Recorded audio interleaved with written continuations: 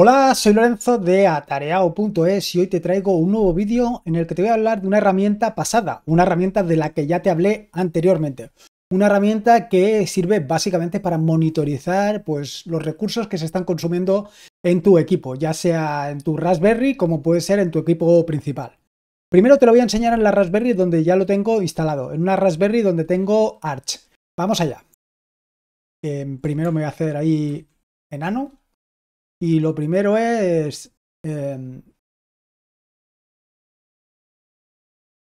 Arch. Allá vamos a la Raspberry.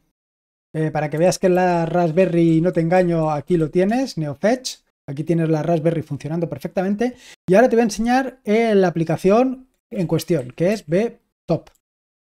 Aquí la tienes funcionando. Y voy a conectarme también eh, a la Raspberry, Raspberry Arch. Y en este caso voy a arrancar bpytop. ¿Vale? Aquí tienes las dos. Eh, la versión antigua, esta versión antigua, que es la que te enseñé en un vídeo anterior, eh, se llama bpytop y es una aplicación que está implementada utilizando Python. Mientras que esta, que se llama btop, sin nada más, está implementada utilizando C++. Pero vaya, básicamente ambas herramientas deberían de estar eh, mostrando aproximadamente lo mismo, aunque como ves, em, no están mostrando lo mismo. Una está marcando 40 grados y la otra 41, y el consumo de CPU, una marca el 2 y el otro el 3. En fin, bueno, son pequeños detalles que no van... Espérate un momento. Sí, que no van a ningún lado. Al final tampoco es que sean cosas realmente importantes. Aquí lo que ves es que el árbol de directorios, bueno, el árbol de los recursos que se están mostrando es ligeramente distinto, pero porque los tengo ordenados de distinta manera. Vamos a ver si los ordeno por memoria. A ver.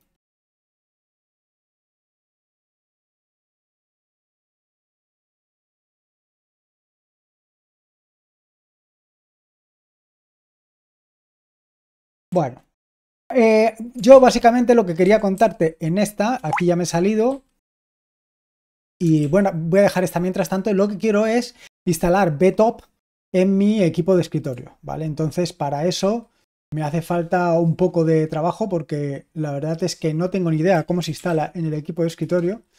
Voy a buscarlo, BTOP, aquí está, eh, a ver cómo me dice que me lo instale. Eh, tienes por supuesto la posibilidad de instalártelo con un paquete Snap, pero mm, por ahora no tengo intención de instalarlo con un paquete Snap. Así que eh, existe la posibilidad de descargarlo, pues mira, esta vamos a descargarla porque existe la posibilidad de descargarlo directamente utilizando Linux.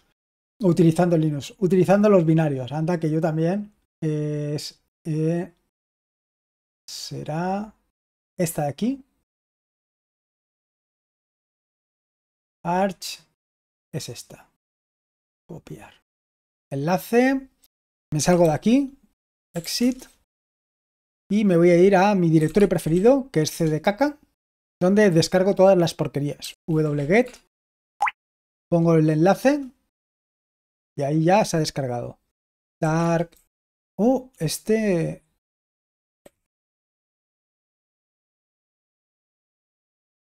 Anda,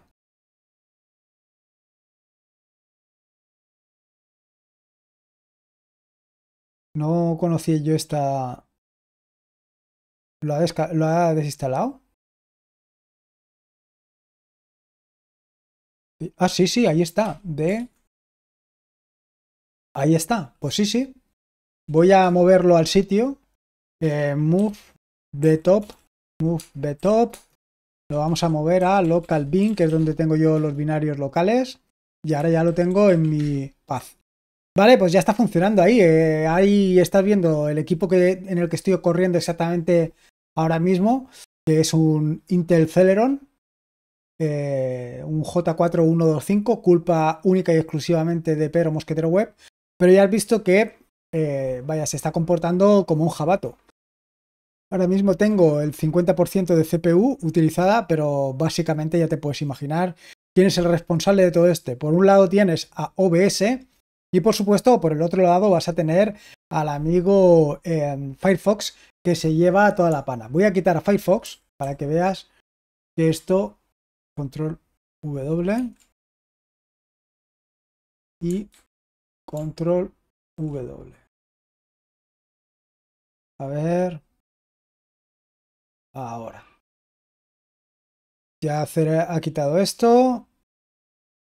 Y se ha un poquito se ha mejorado la situación de esto, de cómo está funcionando ahora.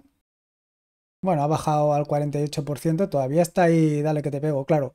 Aquí está dale que te pego porque está haciendo uso de OBS Studio, que es el que básicamente parte la, parte la. Bueno, ¿qué cosas tienes aquí? Bueno, pues al final tienes lo de siempre. Espérate un momento que voy a ver que no me fío. No sea que no esté grabando, que es algo que me suele suceder a menudo, que empiezo a grabar y luego me dejo las cosas a mitad. Bueno, vamos a ver qué es lo que tenemos. Eh, vamos a buscar la ayuda. Eh, bueno, el ratón yo prácticamente no lo utilizo para nada, como ya sabes. Luego con un 2, 3, 4. Mira, lo que voy a hacer es algo que tiene mucho sentido, que es poner aquí la ayuda. Perfecto. Y así eh, vamos viendo. con 1, 2, 3, 4 es como pones los menús 1, 2, 3, 4.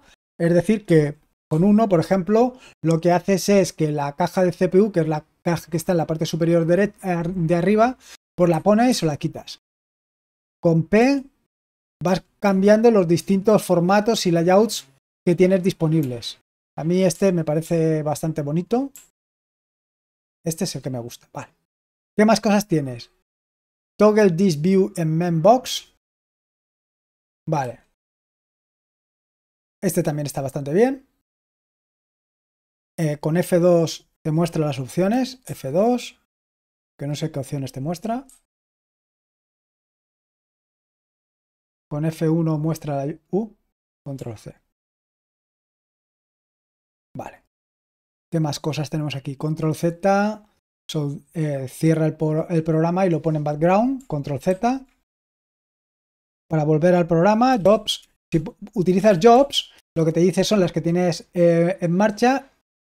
Puedes matar la aplicación directamente con kill tanto por ciento 1 y si quieres volverlo al, principal simplemente es eh, FG foreground tanto por ciento 1 y con esto te lo traes a primer plano.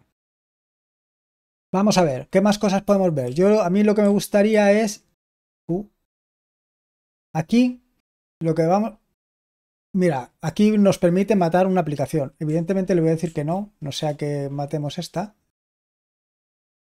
Vamos a ordenarlo filter. Nada, con filter nos permite ordenar, por ejemplo, si con este, si pusiéramos Python, nos diría los de Python que tiene.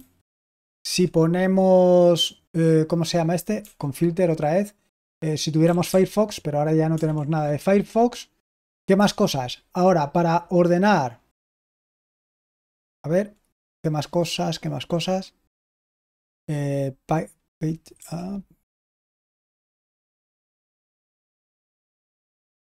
Ahora está ordenado por CPU, más o menos. ¿Qué más cosas?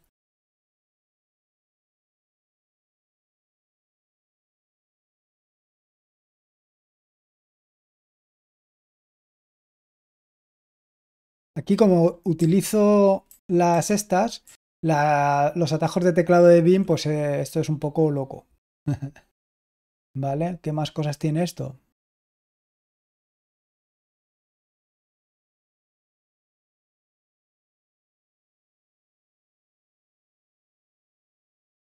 Vale. También te permite, fíjate,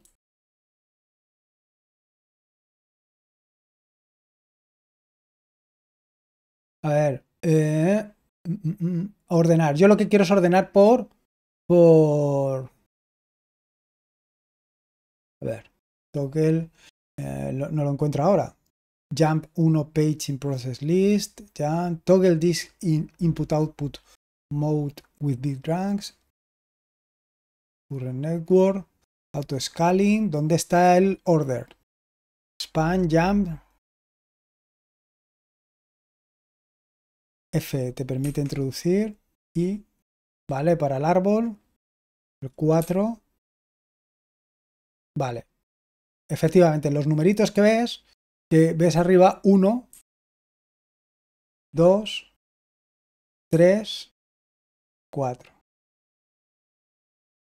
Vale. Y yo lo que quiero es ordenar. Con C te permite hacerlo por núcleo. R reverse. No. No. Vamos a, ver si subimos hacia arriba. Vale, ya estamos arriba del todo. Con R te permite ordenarlo al revés. Claro, ahora tú fíjate, la CPU está al 183%. Eh, a ver. Con R al revés. Estoy seleccionando ahora por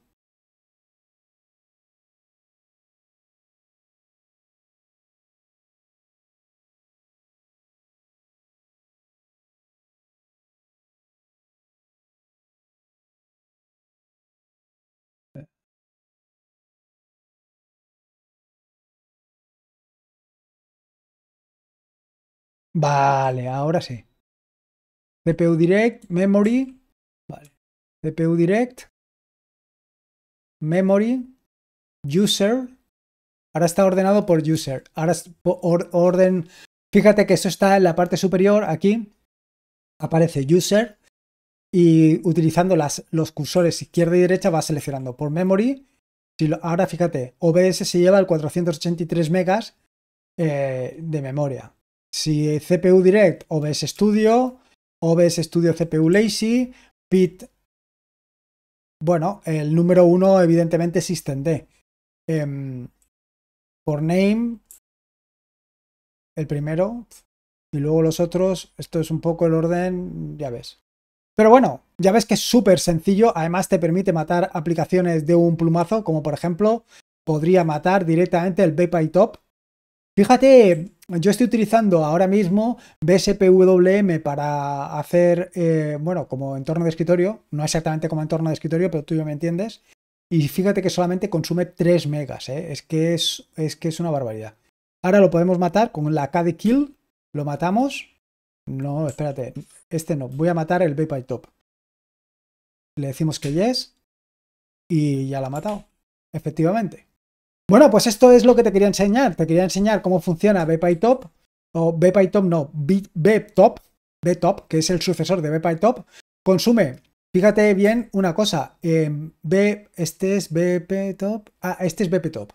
Vale, voy a arrancar SSH eh, Arch. Voy a arrancar aquí en BPyTop para que veas la diferencia de consumo de recursos. Espérate un momento, que voy a salir otra vez. Vale. Fíjate ahora mismo que eh, está ordenado por... Voy a ordenarlo, perdona. Voy a ordenarlo por... Mm, memory. Ahora el que más consume es Docker, porque la Raspi ahora mismo lo que tengo levantado es Docker. Eso es lo que más está consumiendo, ¿vale? Con 73 megas. Y con... ¡Uy! Ahora, perfecto. Y ahora lo que voy a hacer es eh, arrancar BPyTop para que veas la diferencia. Fíjate que ahora el segundo, el segundo es Python con 38 megas. Está consumiendo 38 megas eh, solamente lo que es Python. Y ahora si buscamos, filtramos, filtramos por B, Ah, que no está BPyTop. Mm, no me deja verlo. Bueno, está consumiendo 39 megas, mientras que si te fijas, ahora vamos a buscar, vamos a filtrar por BTOP, consume 4. O sea, la diferencia de consumo es considerable. Las cosas como son. La, diferencia de consumo y la rapidez y todo. Evidentemente, con esta herramienta, pues esta herramienta es mucho mejor pues, para la Raspberry, para ver exactamente qué es lo que está sucediendo en la Raspberry. Y ya has visto que la instalación es súper sencilla, simplemente te tienes que dejar el binario e instalarlo y ya lo tienes funcionando. Así que nada, esto es lo que te quería contar ya tienes otra herramienta preparada para funcionar directamente en tu máquina como si fuera una bala. Así que nada, un saludo y nos vemos en el próximo vídeo.